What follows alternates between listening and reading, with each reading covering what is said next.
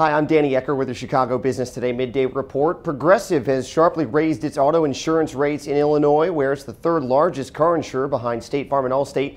The Ohio-based company last month cranked up rates by as much as 11%, largely due to higher claims costs. That's a far larger rate hike than those implemented by its big competitors.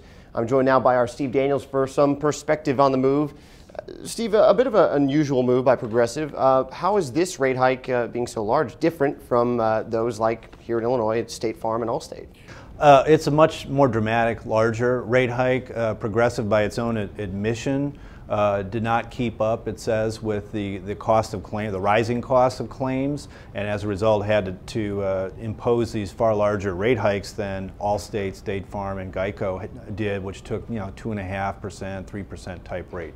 Do Allstate and State Farm do they stand to gain from this? I mean, this should be an interesting to see. I mean, if you're insured by Progressive, it's not going to be easy to swallow, right? Absolutely. I mean, you know, Progressive and, and, Geico have been the, the big growers in the business. They're the ones that have grown and largely at the expense of the, the agent sold, more expensive insurers, State Farm and Allstate, the traditional heavyweights in the business.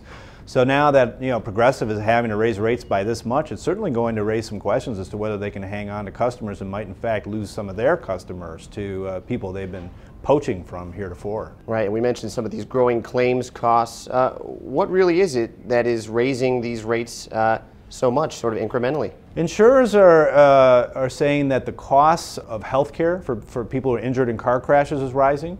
Uh, they're saying that the, the cost of replacing cars that are totaled is rising, that, that used car prices are up. So, you know, these sorts of, you know, these costs above the board are pressuring rates. All right, Steve, thanks a lot. Thank you.